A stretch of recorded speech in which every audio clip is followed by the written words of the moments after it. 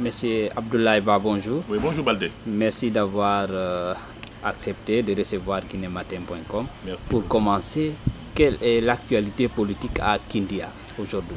Euh, merci pour l'interview et l'invitation. Euh, Kindia est caractérisé depuis quelques jours par des troubles dus à une sortie hasardeuse et plaisantine de- du soi-disant maire, M. Bangoura, qui s'est permis de fixer euh, une amende de 500 000 francs qui frapperait les citoyens qui ne porteraient pas de bavette, également 72 heures de prison euh, pour tous les citoyens également qui n'auraient pas de bavette. Donc India a estimé que d'abord, un, il n'est pas élu, il n'est pas leur maire, hein, euh, il n'est pas donc légitime. Également, euh, la décision n'étant pas légale, le peuple souverain de Kindia ne peut pas se plier à une pareille décision d'un euh, soi-disant euh, maire qui est couché à la maison. D'accord.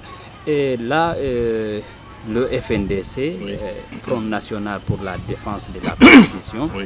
projette de nouvelles manifestations. Oui. Est-ce que vous pensez que c'est opportun. Et comment ça se prépare au niveau de Kindia? Voilà. Euh, oui, le FNDC est un mouvement inédit dans l'histoire de l'Afrique contemporaine. Je rends un hommage aux leaders qui ont eu la vision, qui ont eu le courage, euh, le patriotisme de mettre en place euh, un- une pareille structure regroupant tous les patriotes euh, guinéens et républicains. Et également, je rends ici un hommage à toutes les victimes hein, qui sont tombées dans le cadre de ce combat pour une Guinée débarrassée de la corruption, de la gabégie, de, la violence, de la dictature. Euh, oui, nous avons euh, euh, écouté récemment la position des FNDC qui annonce la reprise des manifestations pour exiger la libération de nos 287 citoyens guinéens qui croupissent dans les géoles guinéennes. Et à Kindia, bien évidemment, nous sommes en train de nous préparer pour pouvoir recommencer la manifestation dès que le mot d'ordre aura été lancé par euh, la coordination nationale des FNDC. Et voilà, euh, pour ces manifestations, euh, les dernières que vous avez organisées à Kindia ont toujours été étouffées par Oui. les forces de l'ordre. Oui. Et cette fois-ci, qu'est-ce qui va changer? Parce qu'il y a certains qui ont estimé que vous avez manqué d'audace ou bien que euh, vous avez replié quand même. C'est vrai. Euh, Kindia est une zone spéciale. Notez bien qu'il y a euh, deux camps militaires à Kindia. Il y a la première région militaire de Kindia, Kankemi Brahma, et il y a également le camp d'élite de Samoroya, n'est-ce pas, euh, où se trouvent les bérets rouges. Donc Kindia est en, entre deux, entre, est en étau entre les deux camps. Donc euh, les forces existent rapidement par rapport à Téléminé, ou bien à Dabola, ou bien à, à, ou à Mamou. Donc, euh, c'est pas facile, n'est-ce pas, de faire sortir euh, les populations qui abritent deux camps militaires. Euh, tout est-il que euh, nous avons fait ce que nous avons pu faire hein, dans le cadre de la manifestation pour défendre la constitution de cette euh, mai 2010, mais également euh, protester contre euh, cette mascarade électorale euh, du 22 euh, mars dernier. Donc, euh, euh, mais également, il y avait un petit bémol, c'est que on n'avait pas réussi à ratisser large dans les quartiers. hein, les jeunes, les femmes, euh, ce qui est déjà fait, puisqu'on a réussi à installer toutes les antennes dans les quartiers. Et je pense que cette fois-ci, ayant des points focaux dans ces quartiers, la mobilisation ne sera pas difficile comme la dernière fois. D'accord. Euh, revenons sur euh, cette gestion de la mairie de Oui. Kindia. Oui. On vous a vu à un certain moment donné être intronisé dans votre quartier pour dire que désormais c'est à partir de là que vous allez gérer la commune de Kindia. Où en est-on par rapport à ce, projet? En fait, c'est une symbolique. Euh, nous avons euh, tout simplement euh, répondu à l'attente de la population de Kindia qui m'a plébiscité, qui a plébiscité le BFDG mon parti et qui nous ont donné 22 143 voix sur les 48 000 votants à Kindia. Et ce qui s'est passé n'avait rien de démocratique. Il fallait continuer la protestation, la revendication autrement. Et donc, puisque la population de Kindia m'avait choisi pour être leur, leur maire et que le gouvernement, le président Alpha Condé et son parti et l'administration à Kindia ont décidé de comploter contre l'UFDG et contre Kindia, il fallait absolument, n'est-ce pas, oser créer quelque chose d'inédit, à savoir euh, m'introniser comme étant le maire. Ça, ça reste dans les annales de l'histoire de Kindia et même de la Guinée. Et, et ce qui a même créé, euh, n'est-ce pas, euh, un, coup de massue Hein, ce qui a créé euh, un problème, n'est-ce pas, à Bangoura, parce qu'on a délégitimé euh, ce qu'ils ont fait à la mairie, euh, parce que tout est-il qu'à Kindia, il y a le vrai maire, Ablaï Baloué il y a le faux maire qui n'a obtenu que 1352 voix, qui a été imposé par l'armée, par la gendarmerie et par le RPG. Donc nous avons créé une situation de non-gouvernance, d'impossibilité, n'est-ce pas, de gérer la vie parce que nous refusons ce que euh, le gouvernement guinéen a fait à Kindia. Mais toujours est-il que c'est le maire qui est déjà euh, dans la commune qui gouverne. Alors, une, une précision fondamentale. La mairie de Kindia est fermée. Ils ne ah. sont pas installés. Depuis qu'on les a vus euh, le 15 octobre euh, dans cette salle, euh, dans cette cour, faire ce qu'ils ont fait, espace à montrer les images, notez bien que le bureau est fermé. Mm -hmm. Depuis lors. Et comment ils font pour gérer? Ils ne gèrent pas. La Kindia n'est pas géré. Ce que je vous dis ici, il fallait le vérifier euh, sur place. Je, je, je, je, témoigne ici en tant qu'acteur principal qui se préoccupe de la destinée de ma ville. Donc, euh, ce qu'ils ont fait qui n'a pas marché. Bangoura a senti qu'il n'est pas reconnu par la population, les Kindiaka n'ont pas suivi. La désobéissance civile a continué jusqu'à présent. Donc, il a compris, il est couché à la maison. Toutes ces déclarations qu'il fait, il les fait via média, étant à la maison, euh, chez lui à Tafori, Gangan, ou bien à Foulaya, chez sa quatrième femme.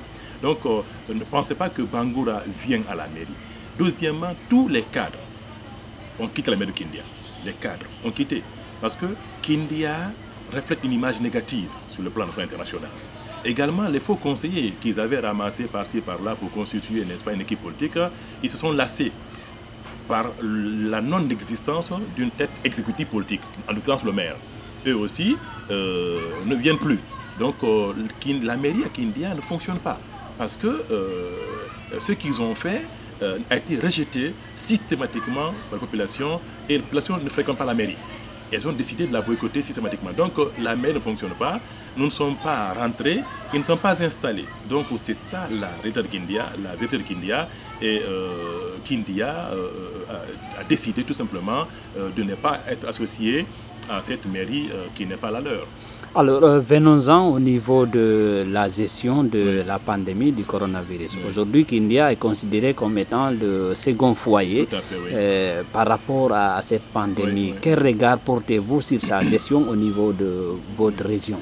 Voilà. Alors, nous avons euh, à Kindia les structures de la santé, hein, la, la DRS, donc la Direction régionale de la santé, nous avons la DPS, euh, c'est eux qui gèrent, n'est-ce pas, avec Pastoria, hein, le, centre euh, de gestion des épidémiologies de Pastoria, c'est eux qui gèrent la pandémie à Kindia. Les gens de là-bas, la moyenne Guinée, viennent là-bas. Les gens de la basse Guinée, Fria, Bokeh sont transportés à Kindia. Également, toute personne de Kindia et même Télémile aussi sont soignés là-bas. Ça passe très très bien. Hein. Il y a des équipes compétentes, du matériel euh, de qualité que les Russes avaient offert, euh, n'est-ce pas, à la Guinée à l'occasion de la pandémie, non, la de l'épidémie de Ebola, d'une valeur de 10 millions de dollars. J'avais assisté à l'inauguration et à la remise, n'est-ce pas, du laboratoire de, de, de, de haute technologie de Pastoria. Euh, oui, nous avons euh, cette équipe médicale, nous avons les techniciens de la santé qui sont là, qui travaillent euh, la main dans la main. nous avons tous les jours des malades qui, qui sortent de ce centre, donc c'est géré. Mais, mais, au niveau de la population, c'est là où le bas blesse. C'est pourquoi la sortie hasardeuse de Bangoura euh, n'a pas été accepté parce qu'en fait, il n'est pas considéré comme maire India. Par conséquent, sa voix ne passe pas. Vous comprenez Sa situation est comme tout le monde. Le monde entier sait que Bangoura n'a pas été élu.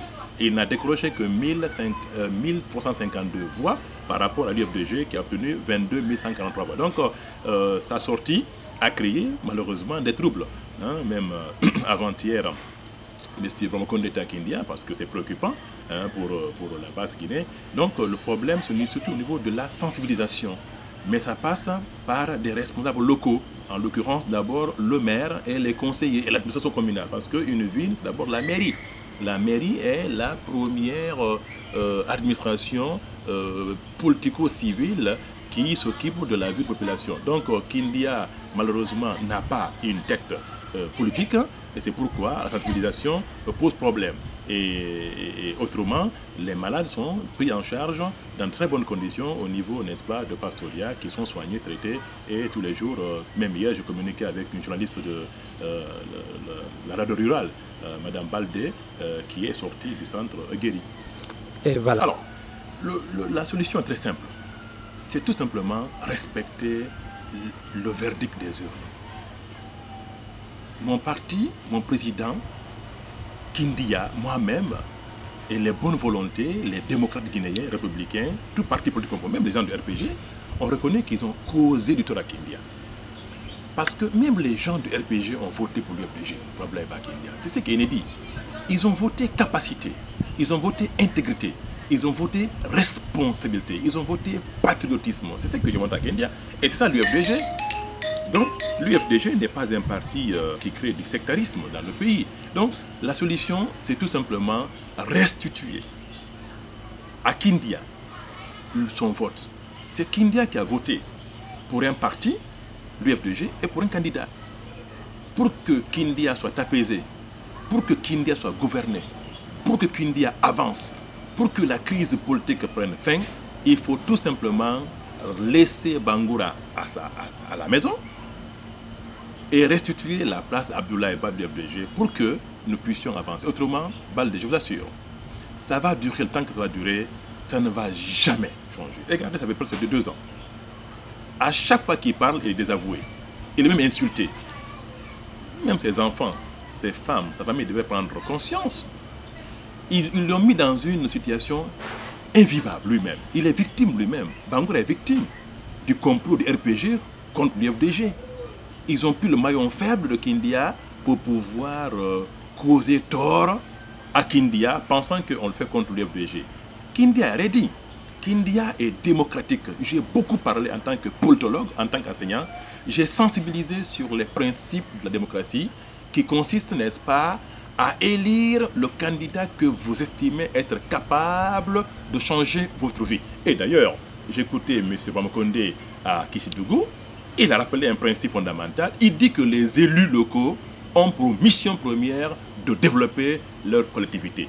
Et alors pourquoi ne pas laisser l'élu de Kindia prendre sa place politique pour développer, n'est-ce pas, Kindia?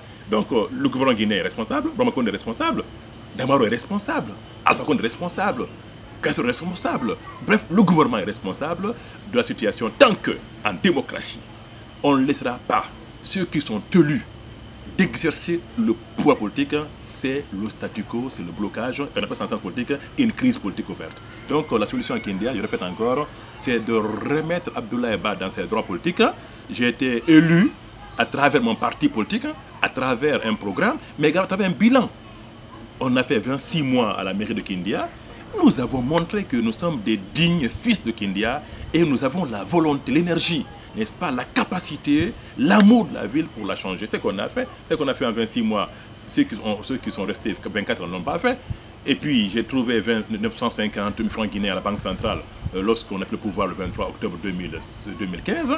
Mais 26 mois de gouvernance et puis dans des difficultés immenses parce qu'on voulait m'attraper, me mettre au cachot, débellés, les camions, l'administration, tout est complot politique là. En partant, nous avons laissé, mon équipe et moi, 37 millions dans les caisses, constatés par la préfecture, par le gouvernorat et par, n'est-ce pas, les MATD. Donc c'est ça la gouvernance. Il faut qu'on laisse, il faut que le, il faut que le système hein, qui, est, truffé, n'est-ce pas, de médiocres, qui ont peur de perdre leur place, accepte de cohabiter avec l'excellence pour que la Guinée soit sauvée, y compris Kindia. Donc la solution à Kindia, c'est de restituer à l'UFDG, mon parti, à moi, n'est-ce pas, la place du majorat pour que tout ça. Autrement, les, les, les gens de Kindia n'en veulent pas. Vous avez vu les manifestations le lundi. Les femmes ont dit, tu n'es pas élu. Moi. On ne t'a pas choisi, tu n'es pas élu, tu es couché à la maison, tu n'es pas notre chef, tu n'es pas notre maire. Par conséquent, tu n'as pas à nous imposer une taxe d'abord illégale, 500 000 francs, mais également 3 jours de prison. Et puis ensuite, tu équipes, toi, Bangoura, pour pouvoir décider. C'est ce qui s'est passé.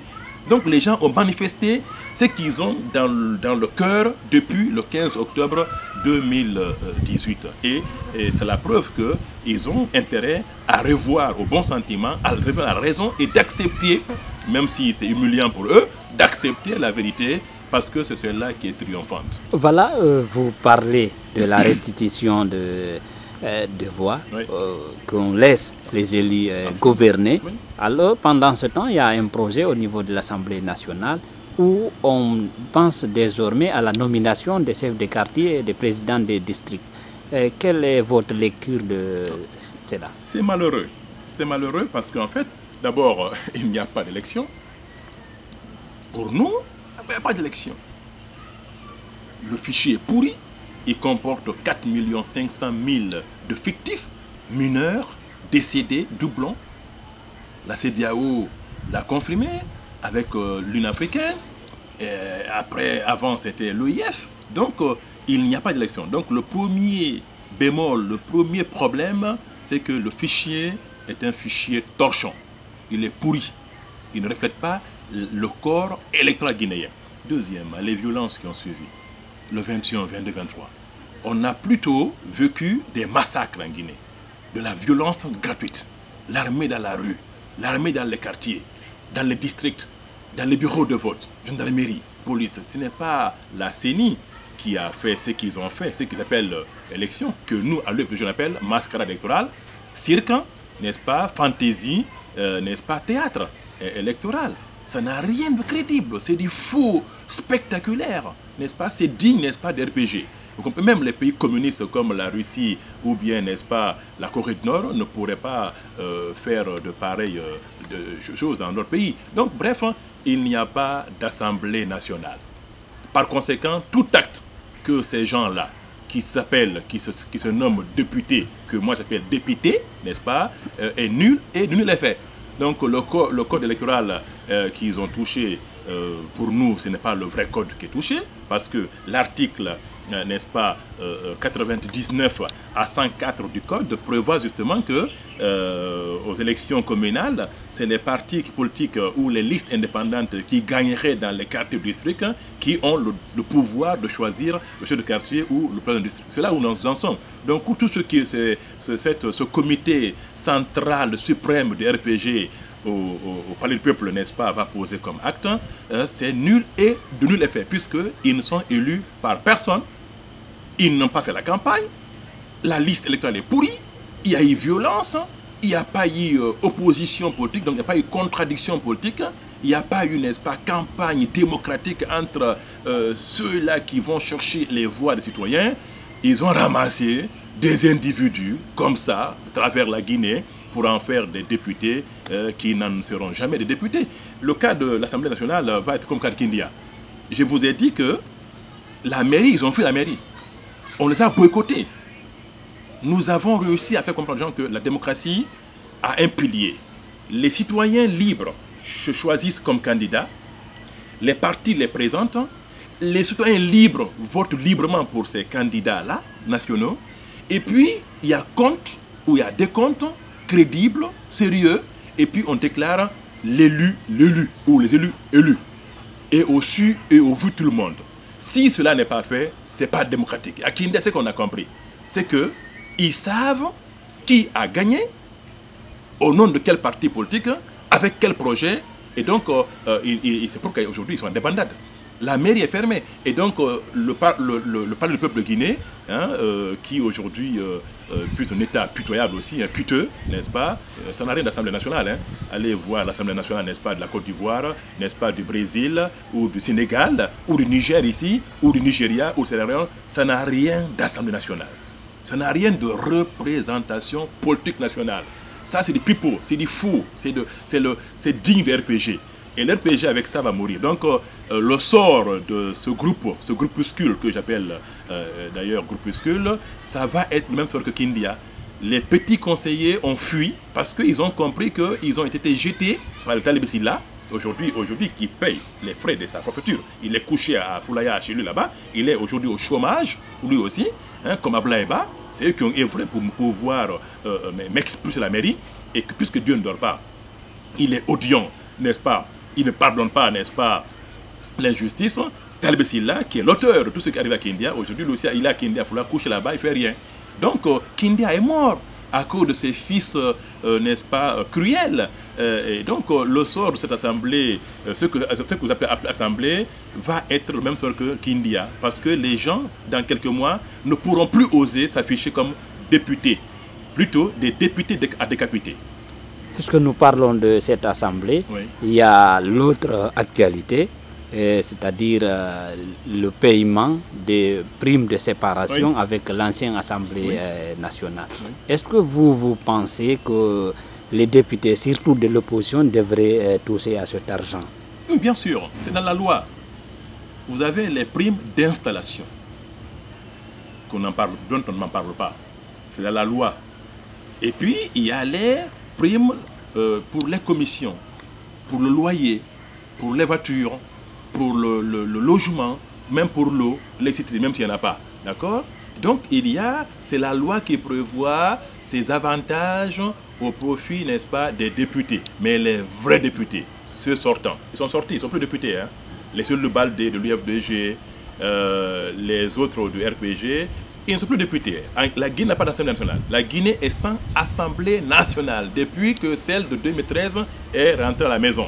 Donc, euh, euh, cette prime de séparation dans la loi, c'est son nom, d'accord, est un droit euh, fixé par la loi et qui peut être bénéfique aux députés sortants. Donc, il n'y a aucune, n'est-ce pas, de polémique là-dessus, il n'y a aucune discussion. C'est ce que la loi prévoit et c'est comme d'ailleurs le budget du chef de l'opposition. Mais Alpha Condé a voulu utiliser ça contre Selou, penser que c'est le thème alimentaire. C'est un politicien, euh, n'est-ce pas, avide d'argent, mais il a compris qu'après un versement, ou même un deuxième versement, il a dit que Selou est resté constant dans sa posture d'opposant démocrate hein, et il a coupé l'argent croyant que Selou, Selou n'est pas un alimentaire, Selou n'est pas un, fils qui n'a pas mangé dans sa famille avant de grandir. Donc euh, oui, euh, cet argent est un droit comme le, droit à l'installation. Ici, c'est séparation, euh, départ de l'Assemblée nationale, la vraie, pour la maison. Par conséquent, la loi dit qu'il faut les accompagner. C'est comme sur le CNT. C'est comme les ministres d'ailleurs. Hein. Tous ces ministres en partant aussi, ils ont six mois de salaire pour pouvoir les aider à tenir les deux bouts après leur fonction officielle. Donc il n'y a, aucun problème par rapport à ce qu'une loi dit. Au contraire, c'est eux qui violent la loi. Hein, parce que nous avons les régions installées. Massurien Bangoura ici ne devait pas être gouverneur. À Kindia, Madame Sarangbe Kamara ne devait plus l'être.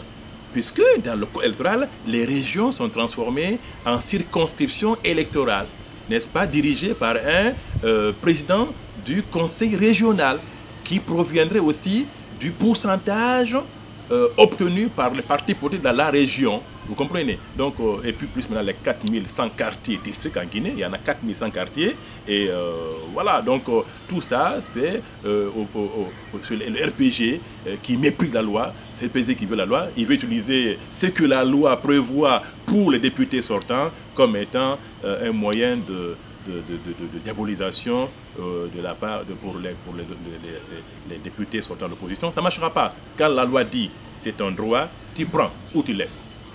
D'accord. Et Monsieur Ba, eh, c'est vrai, peut-être nous arrivons vers la fin de l'interview, mais je voudrais vous demander, eh, ces derniers temps, euh, vous vous faites rare euh, au devant de la scène. on vous a toujours connu comme étant quelqu'un qui et qui attaque beaucoup le pouvoir, qui critique sa gestion. Mais aujourd'hui, vous êtes un peu effacé. Pourquoi? Non, je ne suis pas effacé. Je communique euh, en fonction de ma disponibilité, mais également en fonction, n'est-ce pas, euh, de la sollicitation des médias que vous êtes. Euh, j'ai échangé il n'y a pas longtemps avec le Amadou Diallo de, Guinée Première, avec Vision Guinée, d'autres radios aussi. oui, c'est vrai, je, je, parle moins qu'avant, parce qu'il n'y a pas un enjeu actuel en 2018, il y avait une crise politique hein, euh, pour, Kindia. Donc, euh, le contexte a changé. Et euh, oui, je, me fais un petit peu rare sur les médias, mais je n'ai pas disparu sur les médias. Ok, votre mot de la fin? Et mon mot de la fin, c'est tout simplement euh, rappeler que nous sommes dans un combat pour que la Guinée soit débarrassée euh, des imposteurs. Euh, ces gens euh, qui n'ont rien compris, n'est-ce pas, euh, par rapport à la gouvernance euh, politique. Alpha Condé, je me demande où est-ce qu'il a vécu. Hein, il dit qu'il a vécu 60 ans euh, en France, mais la France ne fabrique pas de pareils personnages. hein. Un gouvernement comme ça, on l'entend que quand il y a des campagnes politiques artificielles à coups de billets de banque volés, mais après on ne les entend jamais sur leur gestion euh, physique, réelle euh, de leur ministère au bénéfice de la population. Donc euh, le FNDC doit mobiliser les bonnes personnes, les bons Guinéens, républicains, les musulmans, que les imams se repositionnent, les chrétiens, que les bons chrétiens se repositionnent, les bons syndicalistes, la bonne société civile, pas celle alimentaire, hein, pas, celle pas celle qui est traître dans ce pays, hein, les bons partis politiques républicains, n'est-ce pas, les bonnes communautés, Peul, Soussou, Malinké, Forestier, Yaranké, euh, Mikifore, Baga, toute la bonne Guinée doit, n'est-ce pas, venir remplir les rangs de FNDC afin que nous puissions sonner le glas à ce faux pouvoir avec euh, sa propension criminelle à tuer les Guinéens pour nos mines. Ils ne font rien pour la Guinée, il n'y a pas d'eau, il n'y a pas de sécurité, il n'y a pas de santé, il n'y a pas d'agriculture, il n'y a pas d'éducation, il a tué l'éducation. L'éducation nationale est morte. Nos enfants ne vont plus à l'école, les enseignants sont mal payés et quand, comme disait un sage chinois, lorsque vous voulez tuer un pays, écoutez, tuez son éducation, dans quelques années, vous aurez des voyous, des voleurs au pouvoir et des paresseurs, des illettrés, des obscurs dans, le pays. C'est ce qui arrive à la Guinée. Donc, il faut que les Guinéens se lèvent. L'affaire n'est pas l'affaire Peul. Elle n'est pas l'affaire Soussou. Elle n'est pas l'affaire Malinké. Elle n'est pas forestière. Elle n'est pas musulmane seulement. Elle n'est pas chrétienne. Elle n'est pas syndicaliste seulement. Elle est guinéenne. Tout bon Guinéen, femme, hommes, jeunes et âgés doivent se lever en tant que républicains, comme on a vu au, au Mali, n'est-ce pas, pour demander à tous les Guinéens de sortir le moment opportun pour que nous donnions une bonne leçon, n'est-ce pas, à ces gens qui pensent que nous sommes leurs esclaves. Et il y a des exemples. Le- la Gambie a été digne d'être peuple. La Côte, la- la Côte d'Ivoire, aujourd'hui Bago, il a la CPI. Vous avez aussi l'Algérie, avec toute son armée hein, sophistiquée, n'est-ce pas Vous avez le Burkina Faso, vous avez euh, l'Ouganda, vous avez la Tunisie, vous avez récemment, n'est-ce pas, le Soudan, la Guinée va emboîter très prochainement, n'est-ce pas, le pas à ces peuples responsables, souverains et capables, n'est-ce pas, d'arrêter un petit clan mafieux, criminel, de dictature sanguinaire, parce que nous devons vivre dans notre pays en paix et en sécurité. Les Guinéens ne sont pas nés pour souffrir. Les Guinéens ne sont pas nés pour être esclaves dans leur pays, de la part de leur pays. Donc, euh, que tous les Guinéens, même dans le monde médias, hein, que les bons Guinéens, qui qu'ils soient, n'est-ce pas, se lèvent pour que nous puissions sur la Guinée et on aura un bon gouvernement avec un bon président. Une administration au service du peuple, une armée au service du peuple, une police, une gendarmerie, n'est-ce pas, une agriculture, une éducation nationale. Bref, l'administration publique au service exclusif, n'est-ce pas, des Guinéens, c'est ce qui nous manque. Alpha Condé a bouleversé la Guinée, il a saboté la Guinée, il a dit qu'il trouvait un pays sans État. Aujourd'hui, on n'a ni État, l'État est criminel, l'État suce le sang des Guinéens, on n'a ni pays, le Fouta est coupé, n'est-ce pas, de la Guinée, et on a encore, encore moins un peuple. Les Guinéens sont dispersés, les Guinéens sont divisés, et ça c'est anti-républicain, anti-démocratie, anti-nation. Nous devons nous lever pour pouvoir le dire que vous avez, vous raison, vous avez faux. Vous n'allez pas, n'est-ce pas, nous rendre esclaves, malheureux dans ce pays de nos aïeux. Vous devez gouverner ou vous devez, dégager pour que, n'est-ce pas, les bons Guinéens, responsables, capables, valables, sérieux, euh, euh, intègres, puissent prendre l'appareil d'État et gouverner la Guinée pour le bien exclusif des Guinéens. Je vous remercie. Merci, monsieur. Merci bien.